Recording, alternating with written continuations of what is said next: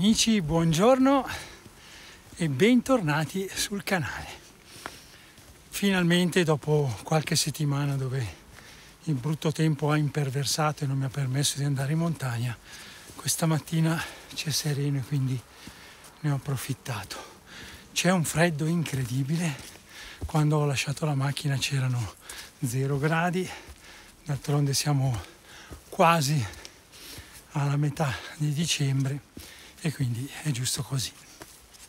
Questa mattina sono salito fino nel piccolo paesino di Erve, un piccolo paesino della Val San Martino, sopra Calolzio Corte, e mi sto cingendo a salire al Monte Magnodeno. Una volta arrivato nel piccolo paesino di Erve, posto a circa 600 metri di quota, ho lasciato la macchina in questo ampio parcheggio che vedete ora e che trovate non appena entrate appunto nel paese, ma comunque non è l'unico parcheggio della zona, in quanto la zona sia in inverno ma soprattutto in estate è abbastanza frequentata dagli appassionati di montagna perché ci sono diversi sentieri, tra cui quello che porta al Resegone. Una volta lasciata la macchina dovete proseguire la strada verso il centro del paese, al primo ponticello dovete girare a sinistra e seguire le indicazioni per il borgo di Costa Lottiere. Poi una volta arrivato nel borgo, facendo come vedete alle mie spalle una strada asfaltata, inizierà il sentiero che ci porterà appunto al Monte Magnodeno. Ad un tratto, mentre salite la strada, incontrerete questa scala con questo cartello che vi indica appunto diciamo, una piccola scorciatoia per evitare di fare diciamo, i tornanti della strada. Fa guadagnare pochi minuti però tutto aiuta.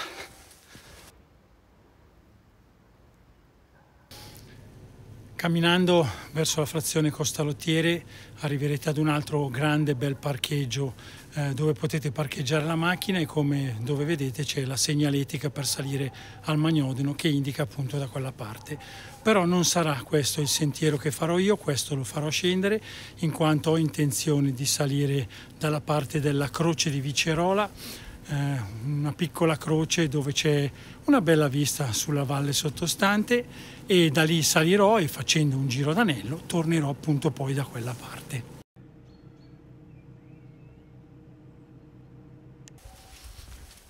Entrambi i sentieri che salgono hanno più o meno la stessa distanza, quindi grosso modo dovrei metterci attorno alle due ore, due ore e mezza a salire e altrettanto a scendere.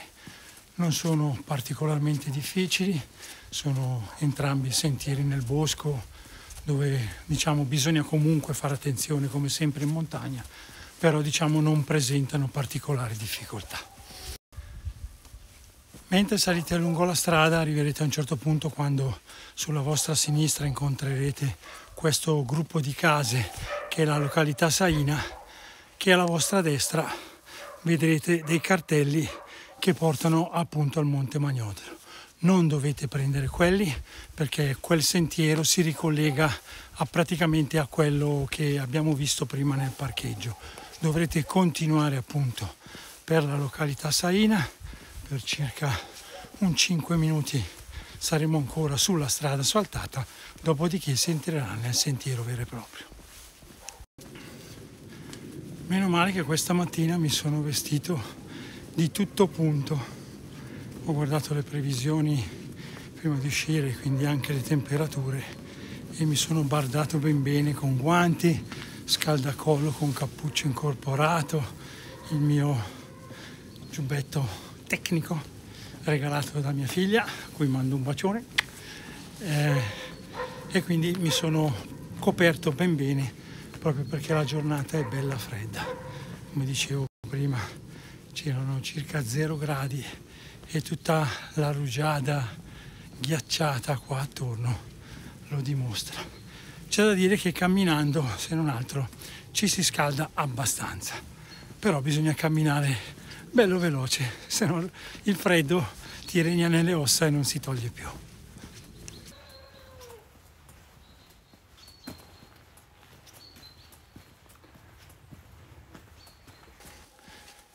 Come tutti i piccoli borghi un po' dispersi eh, sulle montagne, anche questo di Saina eh, oramai non ha moltissimi abitanti, anzi decisamente pochi. Però mentre entravo nei vicoli appunto di questa piccola frazione ho visto anche un fiocco azzurro di una nascita, quindi vuol dire che questa piccola frazione ha un nuovo abitante.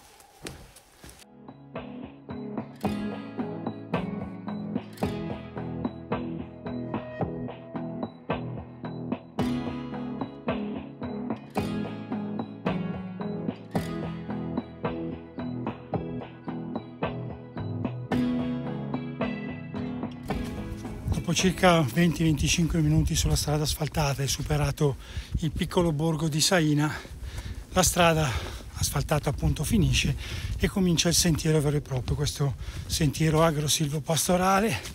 Ah, che bello, arriva il sole, che come potete vedere alle mie spalle è un bel sentiero in terra battuta, neanche difficile da fare, almeno per ora, perché so che fino alla croce di Vicerola sarà un sentiero tranquillo dopodiché comincerà a salire un pochino più imperviamente fino ad arrivare al Magnodeno. Ma comunque già dopo pochi minuti eh, di strada si può godere un panorama che ora vi faccio vedere.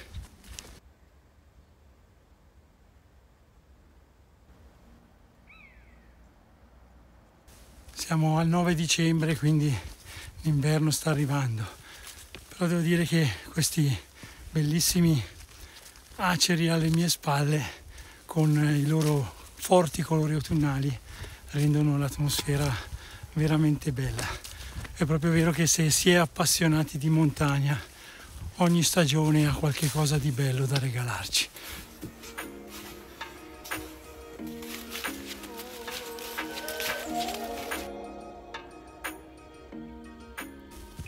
E dopo quasi 45 minuti di cammino dopo aver lasciato la macchina nel parcheggio siamo arrivati a quella che è la nostra prima tappa, la croce di Vicerola.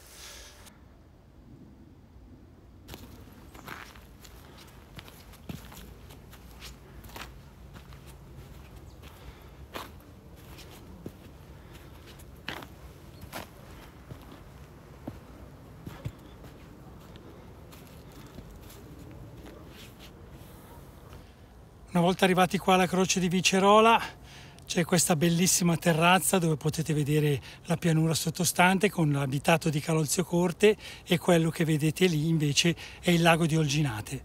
Dopo passato il lago di Olginate il fiume torna ad essere il fiume Adda e prosegue fino a sfociare nel Po.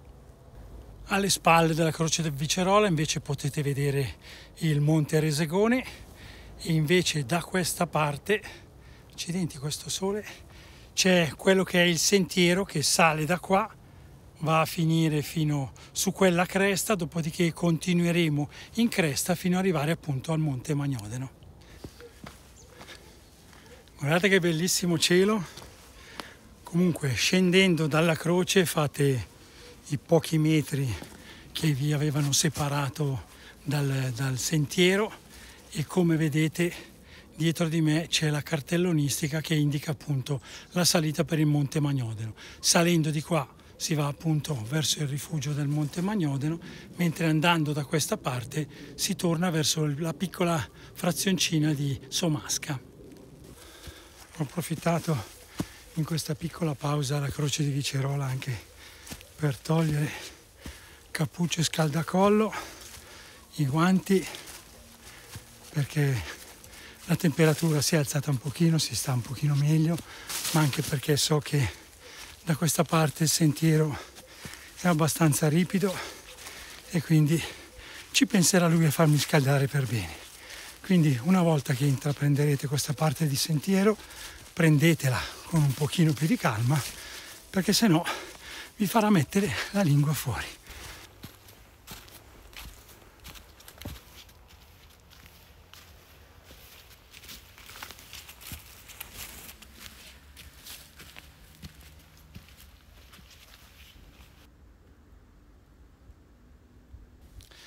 Approfitto di un attimo di pausa per riposarmi un momentino per dirvi che il sentiero è sì ripido ma non presenta nessuna difficoltà. Quindi lo potete fare ognuno di voi logicamente in base alle proprie capacità va fatto con la giusta velocità. Ma ora riprendiamo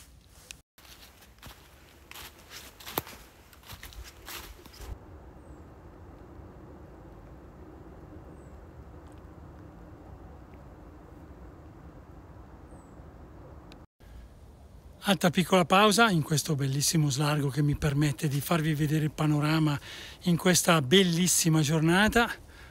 Oltre quelle ciuffi di erba c'è un bellissimo dirupo che arriva fino diciamo a Somasca. Tranquilli papà e mamma, non mi avvicino e vi faccio vedere anche dove abito io, praticamente in quel paesino lì chi è pratico della zona più o meno avrà capito che paesino può essere. Ma ora bando alle ciance, ricomincia il nostro cammino, manca pochissimo arrivare diciamo in cresta dove in cresta continueremo appunto fino al rifugio.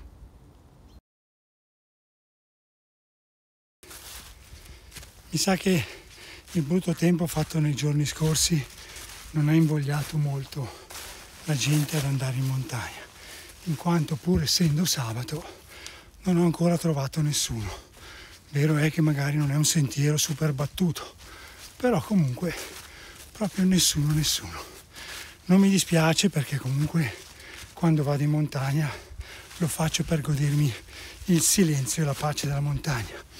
Anche se comunque se per caso mi trovate e doveste riconoscermi, salutatemi pure che sono sì orso, come dice ogni tanto mia moglie, però mi piace anche chiacchierare e quattro chiacchiere con chi mi segue le faccio sempre molto volentieri, ma anche con chi non mi segue. Salita finita, dopo circa una mezz'oretta più o meno, fatta con calma, appunto di salita sono arrivato diciamo in cresta alla montagna dove vedo due pano- vedo, intravedo due panorami.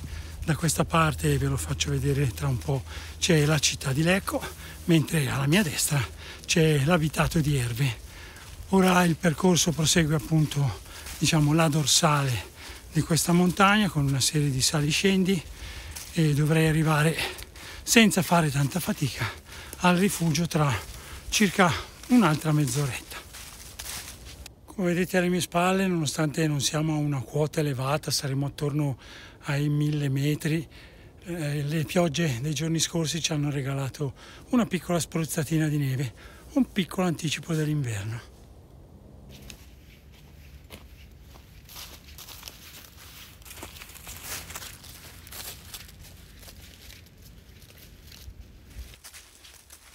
Una volta arrivati in vetta il sentiero è veramente molto bello tutto pieno di sali scendi, fatica zero, è un bel sentiero in mezzo al bosco, anche abbastanza eh, diciamo tracciato e quindi non si fa fatica a perdere l'orientamento nonostante le moltissime foglie.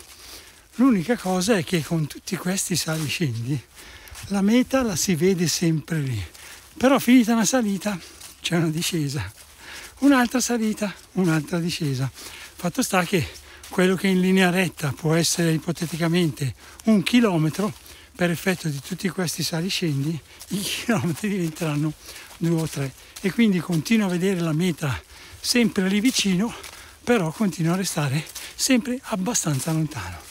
Comunque adesso sono arrivato ad un bivio, il bivio che mi porta al piccolo bivacco Corti, come vedete questo è il bivio e quello è il piccolo bivacco Corti che ora ci vado a fare un giretto. Prima di andare però vi faccio vedere un altro sentiero che sale appunto al Magnodeno una volta diciamo, lasciata la macchina nella piccola frazioncina di Somasca, anche lì si può seguire il sentiero che va in direzione del rifugio Camposecco. Subito dopo il rifugio sulla destra c'è un sentiero abbastanza ripido anche quello che arriva appunto qua e poi sale da qua e si congiunge diciamo a quello che ho fatto io per andare al Magnodeno. ma ora andiamo a vedere il bivacco. Vi voglio portare a questo piccolo bivacco anche decisamente spartano, non solo per il bivacco, ma per farvi vedere questo. Questo cippo, datato attorno al 1700, divideva quello che era l'allora Stato di Milano dallo Stato Veneto della Serenissima. Praticamente era un termine di confine. Ora invece mi accingo ad aprire la super sicurissima serratura che chiude il bivacco e vi faccio vedere l'interno.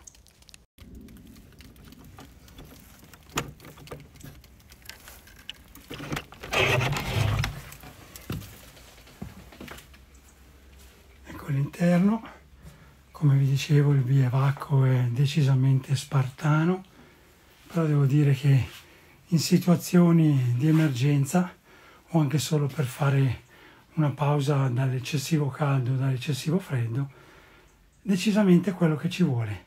La legna non manca, il camino è un bellissimo camino anche abbastanza grande, credo sia dotato di pannelli solari in quanto c'è una lampadina, una piccola radiopile e un piccolo armadietto che credo sia sì, l'armadietto della dispensa qualche cosina da mangiare, una bombola per il fornelletto e un po' di carta sia per pulirsi le mani che per fare i propri bisognini.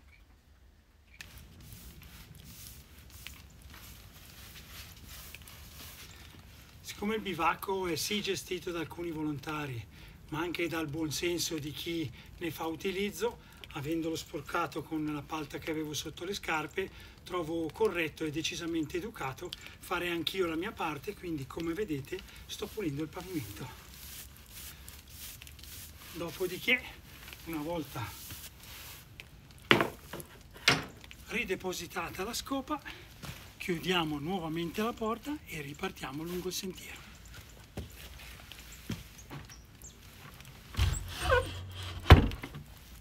Chiudendo bene la serratura. Subito dietro il piccolo bivacco il sentiero comincia a risalire ed ora so che di saliscendi non ce ne saranno più. Quindi veramente ora la vetta si avvicina. Dopo circa una decina di minuti di salita dopo il bivacco comincia quello che è diciamo la parte un pochino più impegnativa del sentiero che come vedete fa alcuni passaggi su roccia, niente di che, eh. male che vada ci sarà da attaccarsi un pochino con le mani, però non è né pericoloso, non, è, non c'è presenza di dirupi né niente, sono solo pochi minuti di salita lungo questo sentiero un pochino più roccioso, ma ora affrontiamolo.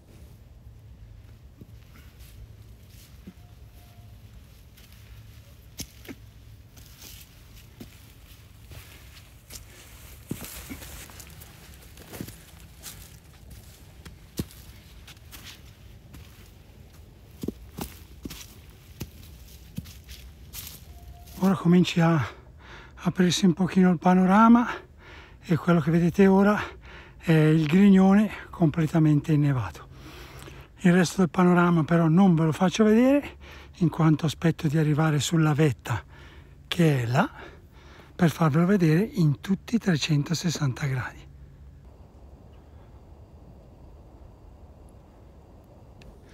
Come vedete ora siamo arrivati al passo Tre Croci effettivamente siamo molto molto vicini a quello che è il nostro traguardo che è lì sopra poco più di 10 minuti di cammino.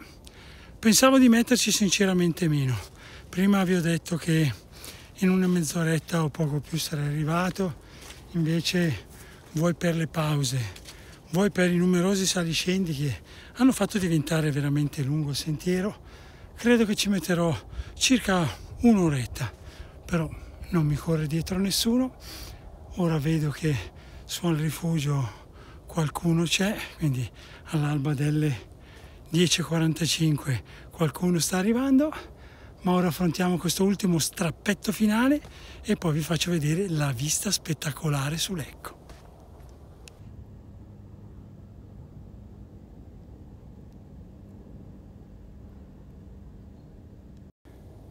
Questo pezzettino che sto affrontando ora con la neve è pieno di piccole impronte di uccelli che molto probabilmente per colpa, per merito di questa pianta che è piena di bacche rosse credo vengano a mangiare e quindi devo dire che ci saranno eh, una ventina di metri di questa piccola parte innevata tutta piena di appunto impronte di questi uccellini che molto probabilmente vengono a fare il loro pranzo. Approfitto di questo bellissimo punto panoramico per farvi vedere un pochino lo sviluppo del percorso. Tra parentesi non sono ancora arrivato, mi manca 5 minuti di salita.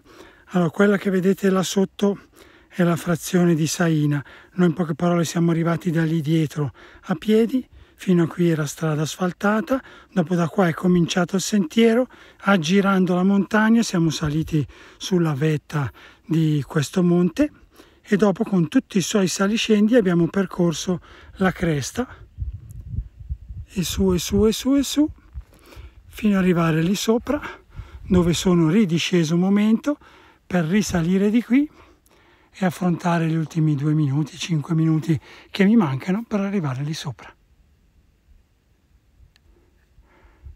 A scendere invece, ripartendo sempre da lì sopra, scenderemo lungo quel crinale che se ci fate caso lì intravedete il sentiero e camminando sulla cresta di questa montagna che praticamente corre parallela a dove siamo arrivati prima, scenderemo ancora con un po' di saliscendi nella vallata fino a tornare al punto dove abbiamo lasciato la macchina. Ed eccomi arrivato. Quella che vedete alle mie spalle è la croce del Magnodeno, quello che vedete dalla parte di là. È il passo di Valcava, non so se riuscite a intravedere le grandi antenne della tv e quello che state per vedere ora. È il bellissimo panorama sul lago, sui laghi eh, della pianura padana e su tutte le montagne che ci circondano.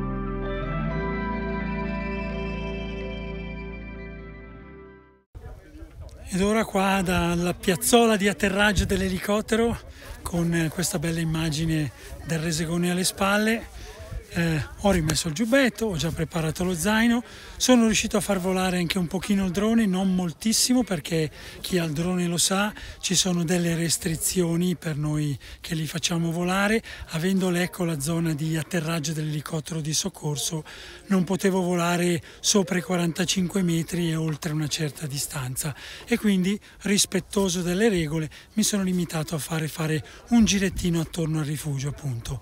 Comunque visto che fa freddo ho appunto rimesso il giubbetto ed ora si parte verso la discesa. Come vi dicevo prima farò un sentiero diverso in modo da farvi vedere, come dico sempre, un panorama diverso. Ma ora partiamo. E rieccomi in cammino. I primi 5-10 minuti di cammino a scendere dal, diciamo, dal nuovo sentiero sono un pochino ripidini e da fare attenzione in quanto su ghiaia giusto appunto 5-10 minuti dopo arrivati ad un baitello che già intravedo il sentiero torna ad essere tranquillo e dopodiché ci infileremo nel bosco e sarà più o meno come quello che abbiamo fatto salendo.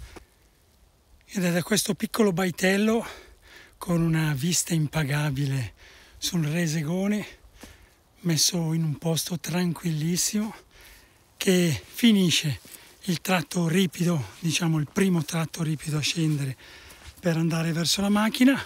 Ora camminando tutto in cresta è poco più di una passeggiata e quindi mi potrò rilassare un pochino facendovi vedere qualche bella immagine del panorama che mi circonda.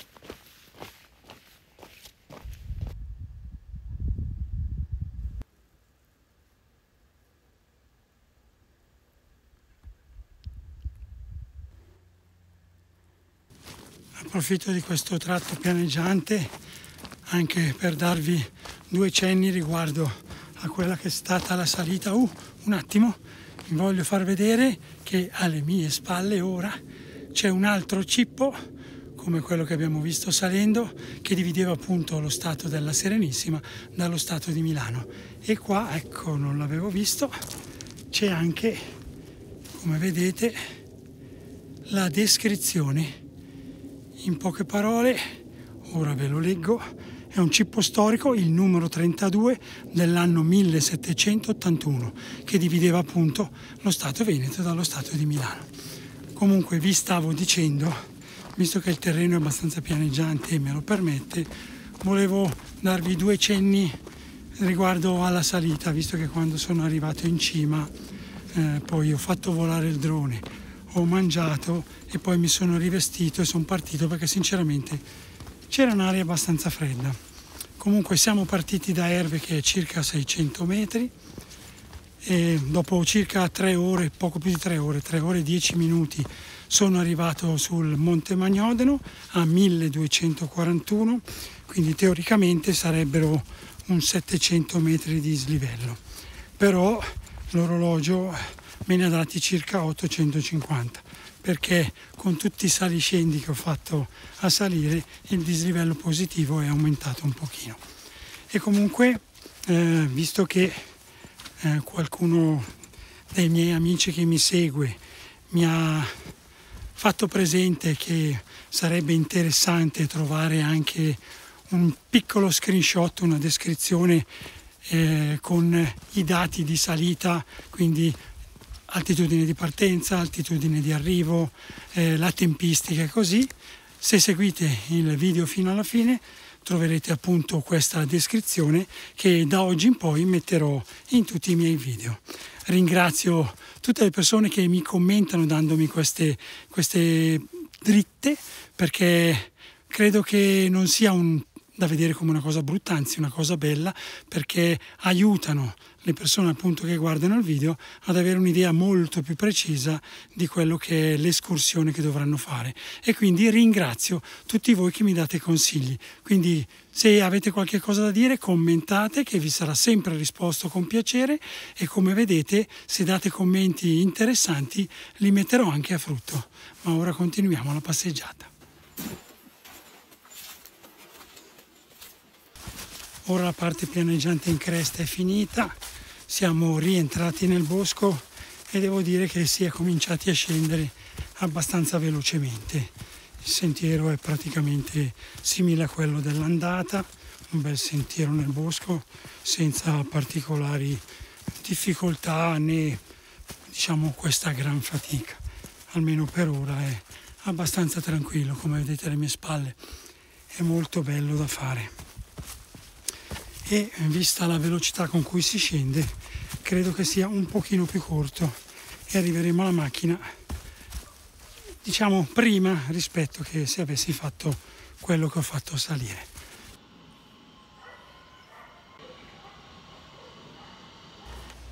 Come vedete sono ritornato nel parcheggio, il parcheggio dove avevo lasciato la macchina, purtroppo oggi ho fatto i conti senza l'oste nel senso che solitamente porto la batteria per poter diciamo, cambiare nella videocamera, oggi sapendo, pensando che fosse un'escursione un po' più corta e quindi che non mi servisse, non l'ho portata, solo che non ho fatto il conto con il freddo che fa scendere la batteria di carica molto più velocemente. A parte che comunque nell'ultimo tratto il sentiero non era molto illuminato in quanto il sole era già andato via e non avrei fatto, grazie a Dio, delle grandi riprese.